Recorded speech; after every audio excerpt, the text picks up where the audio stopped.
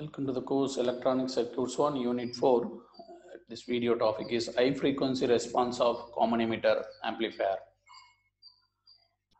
Okay, so already we have seen the high frequency response for BJT amplifier. Okay, where uh, again this is like common emitter amplifier where we have included the source resistance and the load capacitance CL. And then what is the small signal equivalent for this common emitter amplifier? Is this VA is the input voltage, RS is the source resistance, RB is the biasing resistance, that is parallel combination of R1 and R2. RB is the uh, input resistance due to the small signal equivalent at the base side, and C pi is the input junction capacitance at high frequency. C mu is the uh, capacitance between the base and the collector at high frequency and GM V pi is the voltage controlled current source. Okay, R naught is the resistance due to base width modulation. RC and RL is the resistance.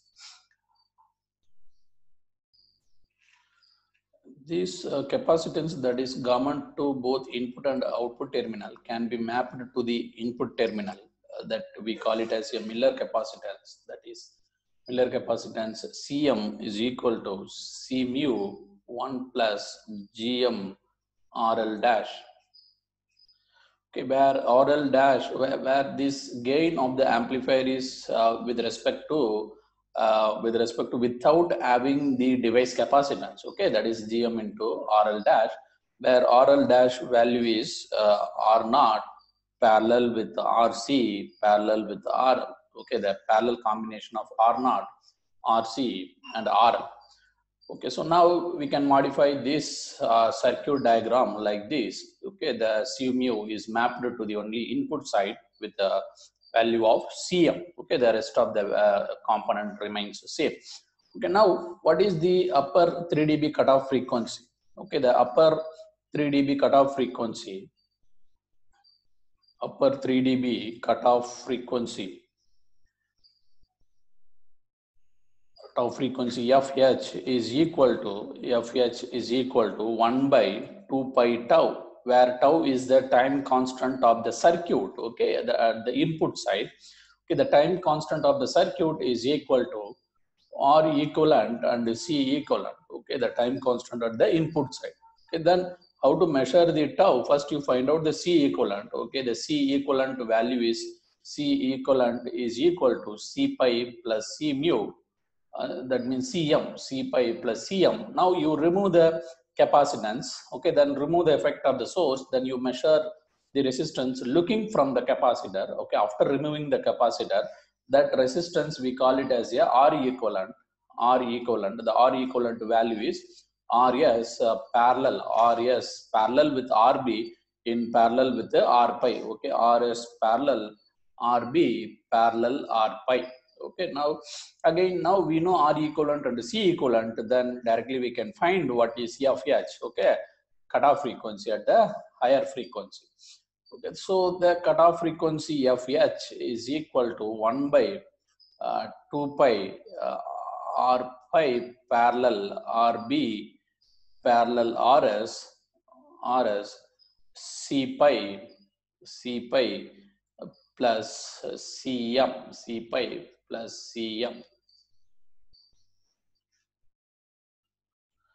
Now, what is the mid-band voltage gain? Okay, the voltage gain at mid frequency, mid-band, mid-band voltage gain.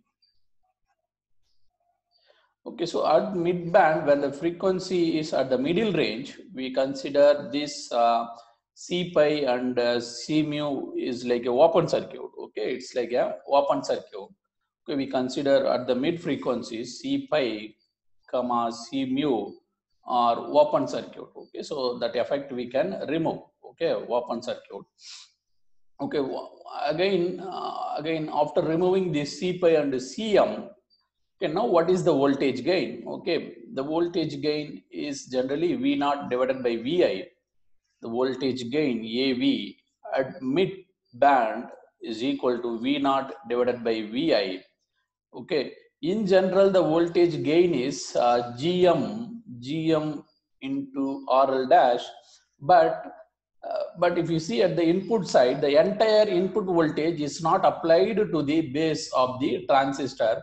Only part of the input voltage is applied because uh, some drop will be there across this RS. Then how much uh, input voltage is effectively applied to the transistor, okay, that we can calculate with the help of voltage division rule. Okay, so that is RB parallel R pi divided by the total resistance. Okay, so again this will be modified like this okay rb parallel r pi and the total resistance that is rs plus rb parallel r pi okay so if this source resistance is not there then we can simply write gm rl dash because of this source resistance some drop will be there okay the input voltage drop some of the input voltage drop will be there at the rs resistance that's why uh, we write this term, extra term here.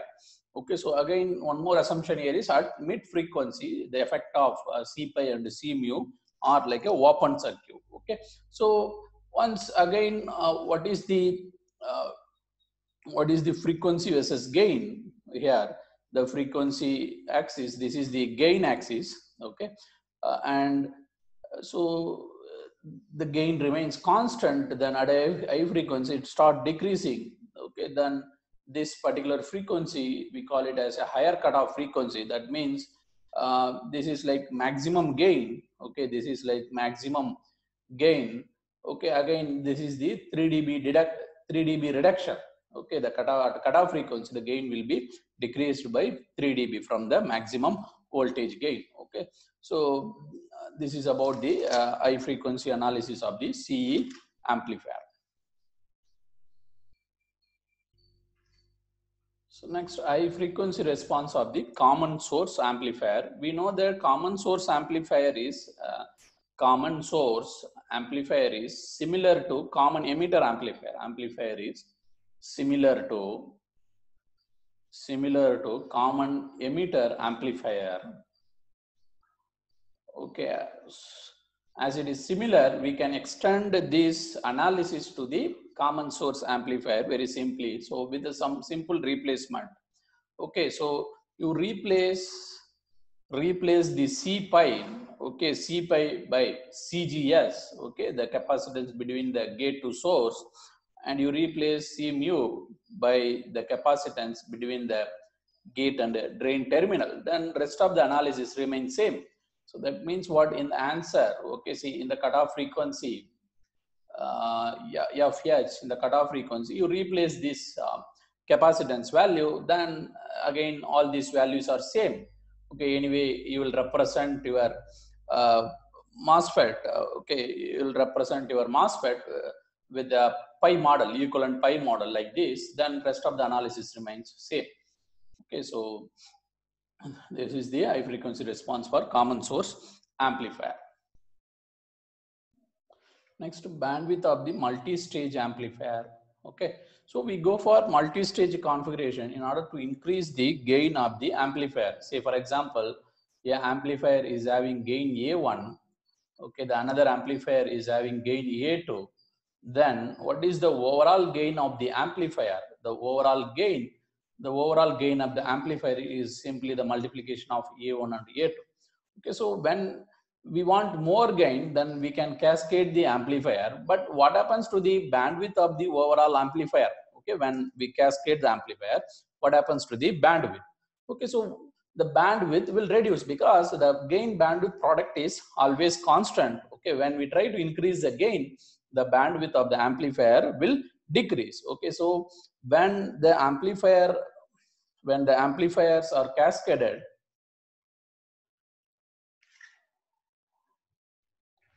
when the amplifiers are cascaded gain of the multi-stage amplifier will increase but the bandwidth of the amplifier will decrease because the gain bandwidth product is always constant. Say for example this is the gain of the single stage okay single amplifier and this is the bandwidth of the single stage amplifier. Now after the multi-stage the gain we represent like this gain of the multi-stage amplifier and the this is the bandwidth of the multi-stage amplifier. So if you try to increase the gain, the bandwidth of the multi-stage will decrease because once if you go for cascade combination multi-stage, the gain will increase so that bandwidth will decrease because gain bandwidth product before cascading and after cascading remains same. So what happens once if you try to increase the gain of the multi-stage, okay, the more you increase the gain of the multi-stage amplifier, then lesser will be the bandwidth of the multi-stage configuration. Okay, the bandwidth uh, will reduce. Okay. So uh, this one is gain of the single stage amplifier is it, it is having lesser gain. Okay, once if you cascade, the gain of the amplifier will increase, but the bandwidth of the multi-stage will decrease. Okay, initially the bandwidth of the single stage is higher, but uh, for the multi-stage, the bandwidth has decreased. Where this FLSS is the lower cutoff frequency of the single stage amplifier, FLMS is the uh, lower cutoff frequency of the multi-stage, FHMS is the higher cutoff frequency of the multi-stage, FHSS SS is the uh, higher cutoff frequency of the single stage. Okay, so the lower cutoff frequency of the multi-stage is greater than the lower cutoff frequency of the single stage, but whereas the higher cutoff frequency of the multi-stage is less than the higher cutoff frequency of the single stage. Okay, so again we can write here the FL MS is greater than FL SS, whereas FH MS is less than FH SS. Okay, so the bandwidth of single stage is FH SS minus FL SS. Whereas the bandwidth of the multi-stage is FH FH MS minus FL SS. Okay. So one thing is from this, it's very clear the bandwidth of the multi-stage is less than the bandwidth of the uh, single stage, whereas the gain of the multi-stage is greater than the gain of the single stage. Okay, now again by what factor it is greater? Okay, see when you go for uh, cascading, the bandwidth uh, is getting decreased. By what factor it is getting decreased or the gain is getting increased? Okay, now we have to calculate that factor. By what factor the, the uh, cutoff frequencies are modified. Either it may increase or decrease. Whereas at lower cutoff frequency, it increases whereas at higher cutoff frequency for multi-stage, it decreases. Okay, by what factor it increase or decrease? Okay, so if we cascade n number of similar amplifier, if n number of similar amplifier stages are cascaded, n number of, if n number of similar, if n number of similar amplifier stage are cascaded, similar amplifier are cascaded, then what happens to the FLMS, how it is modified, okay, that with respect to the original value, with respect to the single stage, it is modified like this, okay, with the factor of 2 power 1 by n minus 1 square root, the 2 in the denominator, whereas here FHMS that is modified by with respect to FH by the factor of 2 power 1 by n minus 1 square root, but the term is in the numerator. Okay, for example, we'll take, uh, suppose very, very simply we can take, uh, suppose for example, two stages are cascaded, n is equal to 2, then how it will be modified. Okay, so the for a two stage amplifier FL multi-stage is equal to 1.56 FL SS and again whereas for FH MS it is like 0.64 FH SS. That means the lower cutoff frequency have increased by this percentage whereas the higher cutoff frequency decreased to this level okay from the original value. Again the bandwidth will be modified accordingly. Okay so this is all about the bandwidth of the multi-stage amplifier. Similarly you can put n is equal to 3 and you can calculate what is the effect okay? So mm, that's it. Okay, thank you